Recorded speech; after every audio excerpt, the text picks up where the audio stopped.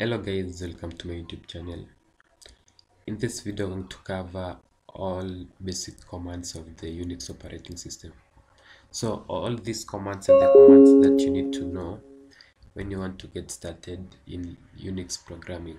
So we're going to use a kali linux operating system which is uh, categorized as a unix operating system. Let's get started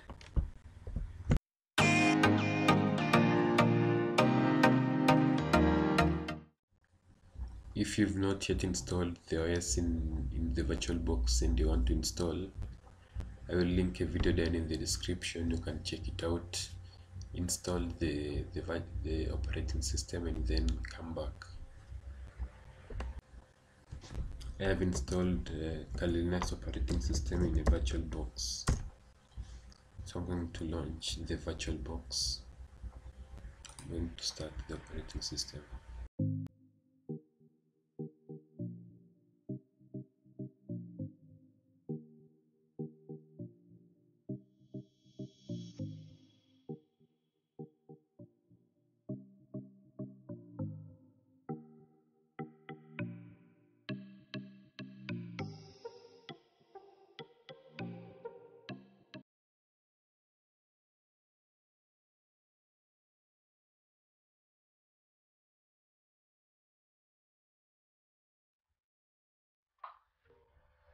Okay, now the operating system is fully booted.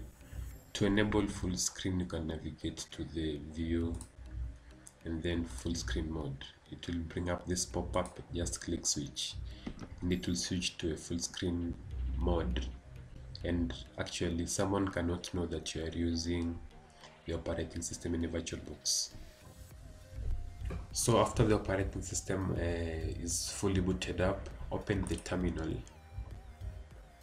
so in the Unix or Linux environment, we will mostly work with the text commands.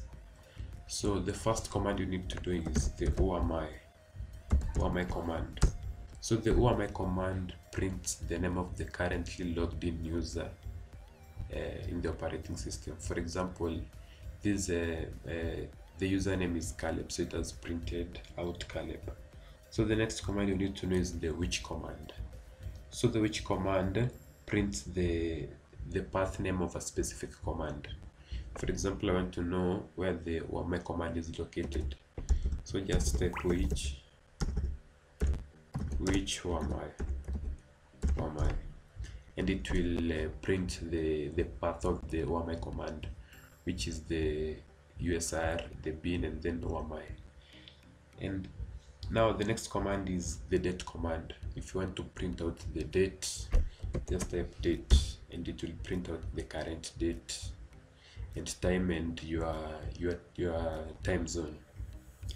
Uh, the next command is the calendar. To print out the calendar just type cal and it will print the calendar of the current month.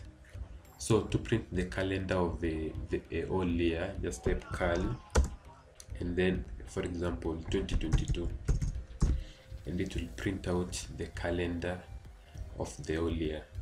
Also you can for example you want to print the calendar of 1955 just type cal 1955 it was printed the calendar for 1955 and a very a very nice feature is that you can print a calendar to a specific text file. So i'm going to show you that uh, in in uh, later on in the video. So the next command is is a command which is used to change the login shell which is the chsh command. So this command is used to change the shell that is used to to log into the computer. So if i enter my password.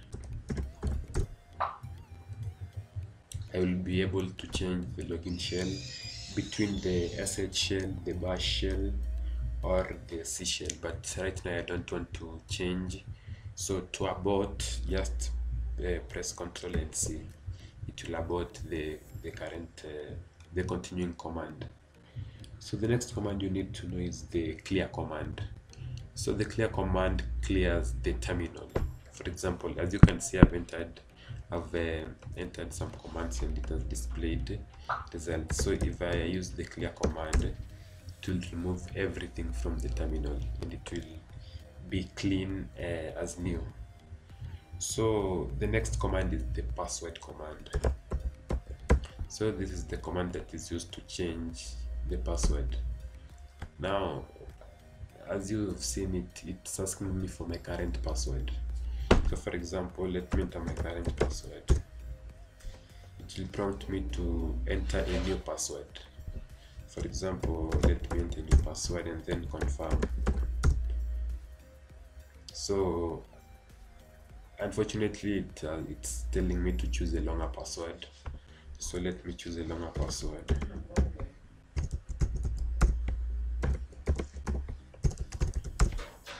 so the password has been updated successfully so this is a very easy and fast way to change or to update your password so the next command you need to know is the sleep command so the sleep command is a command that is used to delay to delay the terminal or to make the terminal do nothing for a specific amount of time so if i, I type sleep uh, sleep uh, 3 I'm telling the terminal to sleep for three seconds. So it will it will be in a standstill for three seconds and then it will uh, terminate. Let's say sleep for 15 seconds. So it will remain in this uh, in this uh, state for 15 seconds. To terminate, just use the control and C command. It will terminate the continuing process. So the next command is the apropos command so the apropos command is a command that is used to to search for specific strings or commands in the in the documentation page. For example i want to search for the name sleep in the documentation page. Let's type up apropos for example uh, the name is sleep. Sleep. It will display all instances of the name sleep in in the documentation page. Also the next command is the man man command. So the man command is the command that you will want to use when you want to know when you want to know what a specific command does if you are unsure what a specific command is supposed to do use the man command. For example i want to know what the sleep command is supposed to do. Just type man and then sleep. So it will open this interface. So as you can see sleep delays uh, for a specific amount of time exactly as uh, you select that also the description which you can read to get a better understanding. And also if uh, there are many variants of the command it will also uh, display them right here. So to exit this uh, interface just press q and it will exit from the interface so the next command is the history command. So the history command is used to display a list of recently used commands. For example if i type history it will display all the commands that i've ever used. All the commands that I've ever used in this uh, uh, in this uh, specific account. So to be more specific for example to display the last 10 commands type history and then tell it will display the last 10 commands that you used. Okay now let's look at the commands that can be used to shut down the computer. So the first command we have is the reboot command. So the reboot command is supposed, supposed to restart the computer. As you can see it has restarted the virtual machine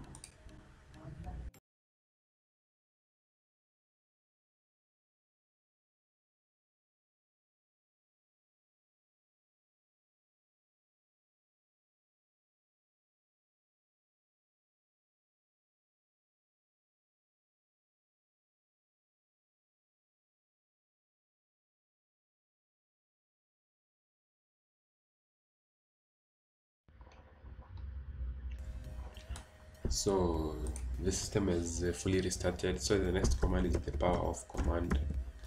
So I'm, I'm not going to execute the command because it will power off.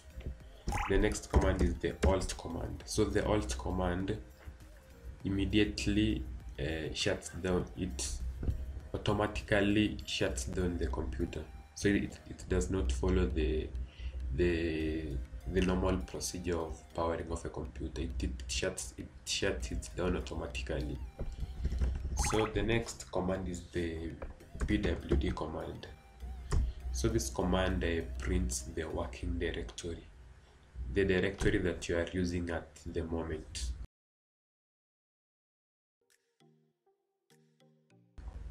So let's uh, look at the how we how to work with files in unix operating system. So the first thing is to know the the, the folder that you are working with at the moment which is the pwd command as i've told you. So the next command is the ls command. So the ls command it lists all uh, all contents of the the the folder that you're working with so all these uh, files and folders are present in the caleb directory. So if for example i want uh, i want to change my working directory to a different directory i use the cd command. For example cd let's move let's uh, let me select the downloads. So i'm working with the downloads folder. So for me to return to the to the previous folder I use the same CD now right here I will have to specify the old path. Home. Home is the root folder and then Caleb. And then just like that. So I've returned to the previous folder. Also I can um, move to the desktop for example cd desktop also know that uh, the directory names are case sensitive.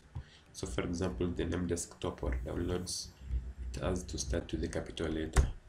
So I've changed my working directory to the desktop. So the desktop is right here. We can see the changes we make very easily. So the first command is how to create a, a directory or a folder.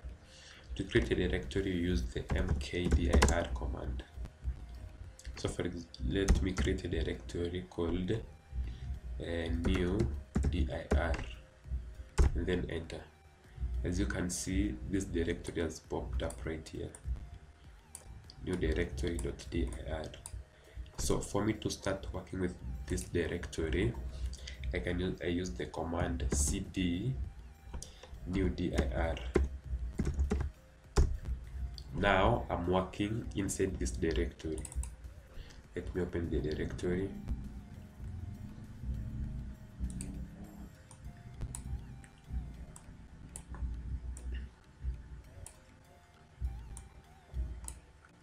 As you can see the directory is empty. Now let me create another a, a directory inside this directory. Mkdir new folder. New folder. As you can see a folder has popped up in there so to create a file use the touch command. For example i want to use i want to create a text file. Use the touch touch new.txt txt. As you can see also a text file has appeared right there. So that's how you create a file and a folder. For example if i want to create uh, another another file inside the new folder. So cd new folder. Cd new folder it will open the new folder and then let me open the new folder. Let me use the touch command touch new file .txt. That's created a new file. So the next thing is how to delete a file and a folder so to, de to delete a, a file you use the rm rm command. So let me create a let me create a directory. Now let me delete this file and this directory. Use the rm uh, new file .txt the exact name.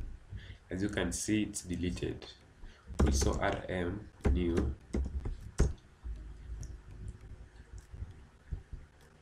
oh okay the to delete the directory use the rmdir rmdir is the one that is used to delete the directory. Rmdir new.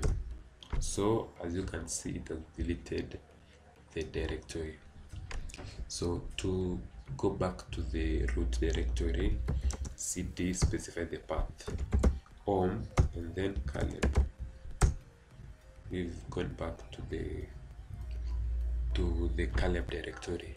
So for example i want to to come here back to the to come directly to the new folder directory. Cd home caleb. And then desktop desktop. Make sure the the is capital because it's case sensitive caleb and then we have a new dir new dir and then new folder new folder. So we've come back to this new folder. We can create a directory new and it will pop up pop up right here. So those are the basics of working with files. Now let, let's let's go back to the to the home directory. Let actually let's go back to the desktop. The idea has to be capital.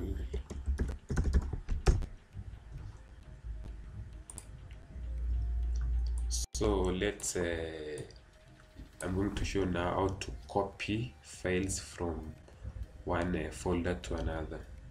So right here we have two folders. We have the the scripts folder and then the new dir folder. The scripts folder is uh, as the arith.sh which is a script which is a, a script file while the new dir is empty does not have any uh, actually it has uh, two items. So we're going to copy the arith.sh from the scripts file to the new dir file so to do that we use the command uh, called the cp cp which is used to copy. So cp define the directory. So the, the directory is on caleb and then desktop. Desktop. And then just uh, a space and then define uh, desktop and scripts scripts uh, folder scripts and then uh, arith dot sh okay now let's uh, define the let's define let's define the a space. Let's define where we want the file to be copied to. So it's the same on caleb. Desktop now the folder is new dir dir new dir just like that. So and then click enter. After you click enter now when I come back to the scripts to the scripts folder as you can see the it's still there. And then when I come to the new dir also the arith dot the sh is, uh, is there. So it has copied this uh, arithmetic file from the scripts folder to the new dir folder. So now let's look at the move command which is used to move uh, from one uh, folder to another. Now let's move the the arith file from the scripts folder to the test folder so mv mv is the command that is to move. Also home.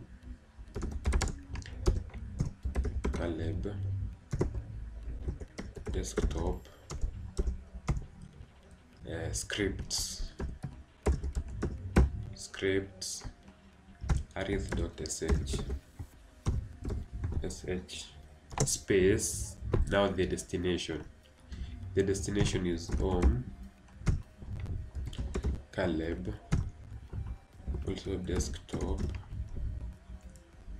Uh, actually let's say okay scripts uh, scripts scripts and then enter.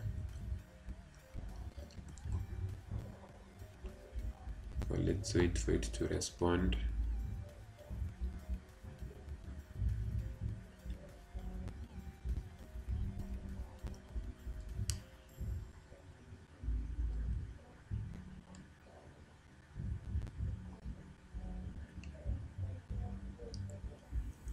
okay so we use the same directory.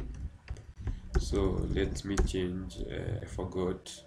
So it's test. It's the test folder and then enter. So when I, I move to the test folder there right, the file is right here. But when I go to the scripts folder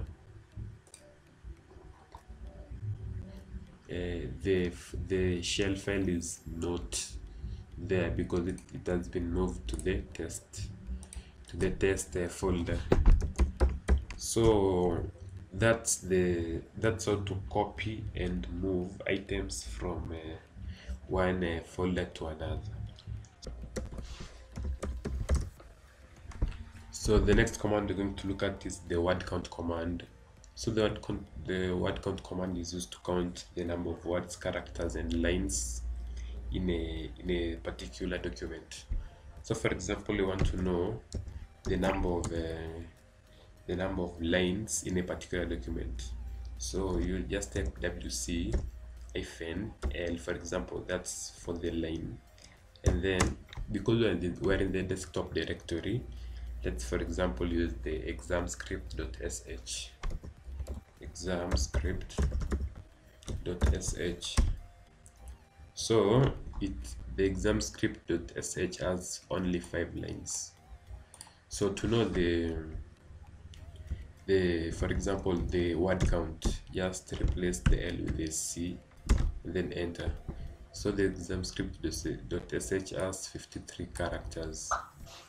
To know the the number of uh, the number of uh, words use w and then run. So it has seven only seven words. So that's how you can use the word count command to know the exact number of lines words and characters in a specific document. So also we have the the chmod command which is used to change file permissions. The chmod command so for example if you've created a file and you don't want anyone to use it.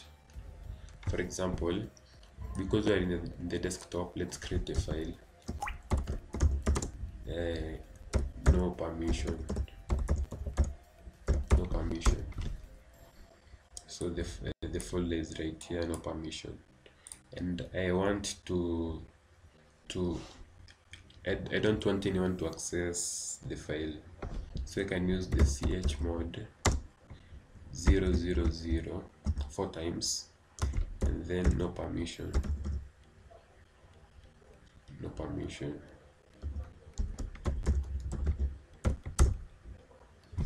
So when I try to open this file because it's empty on this location can cannot be displayed because I've changed the permission such that no one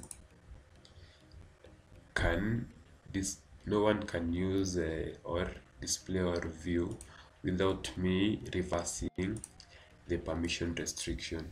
So there are many variants of the chmod command which you can find on which you can find online such as restricting the users. They can only view but they cannot modify in any way or execute so this is just an explanation of the command and how it works. So the next command that is uh, quite nice is the is the the command groupings. So for example you want to execute many commands and export them as one file.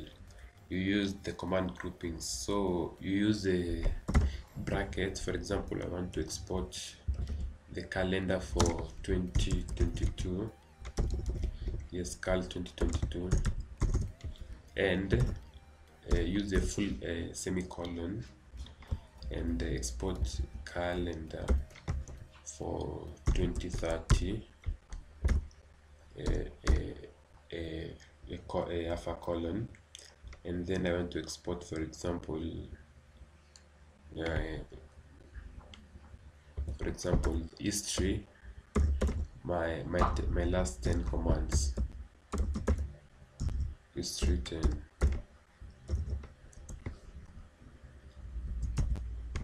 and then close and then use this uh, greater than sign which is now an uh, an assignment.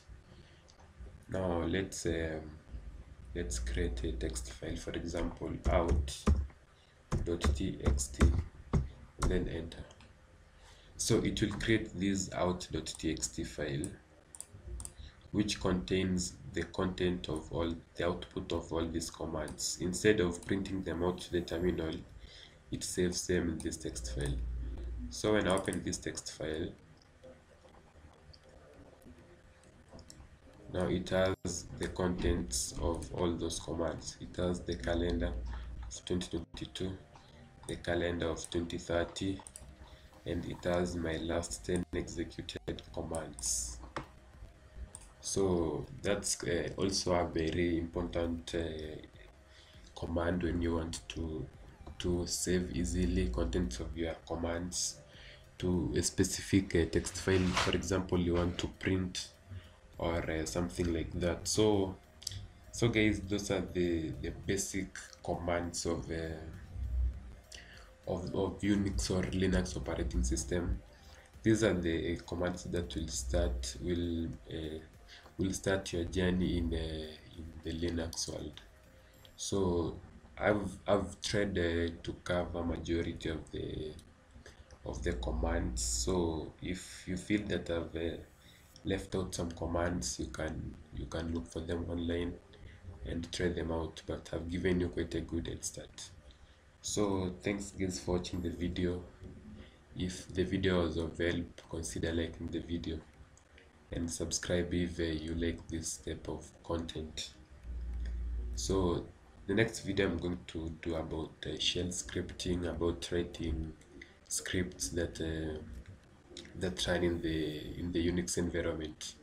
So subscribe uh, to stay tuned for the same. So thanks for watching guys and